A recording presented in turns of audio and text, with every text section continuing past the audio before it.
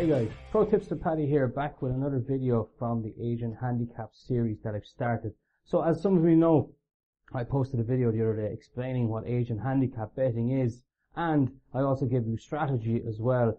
So you will know that my first bet lost. Unfortunately, I went with Italy, Asian Handicap minus one, and they couldn't score against Sweden, so that bet was a big fat loss.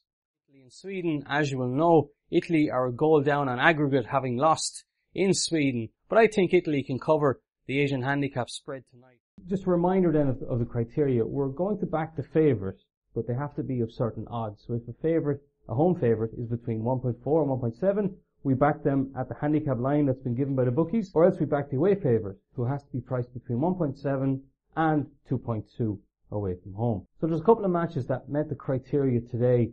Uh, Tranmere versus Peterborough was one, and to be honest, I'm not going to touch it because it's an FA Cup match, and you know yourself, anything can kind of happen in the FA Cup. And okay, there's a fair distance between the level of Tranmere and Peterborough. Tranmere down in the Vanarama National League.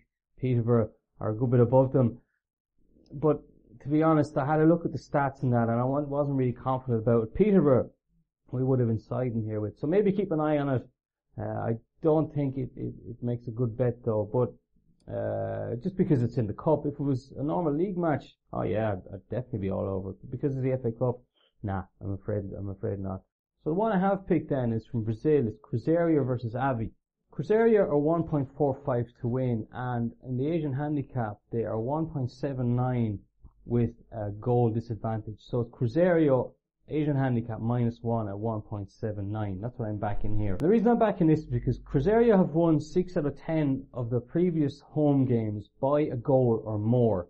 Now they've won 3 matches by more than one goal. So they've won 3 matches by 2 goals or more. So this means that this bet would have refunded or pushed 3 times and would have won 3 times. So we would have got our stake back 3 times. We would have been in profit 3 other times if we'd gone with this bet in those matches. The reason as well why it looks good is that of their previous 10 away matches, Avaí have 5 losses and 2 draws. Also I'd add to that, they've only had 2 clean sheets and only scored 3 goals on the road as well. So we're looking for Cruzeiro to win this match fairly handily. I think they'll do that. Hopefully they'll do it by more than one goal. But if it is only by one goal, then at least we'll get our stake back.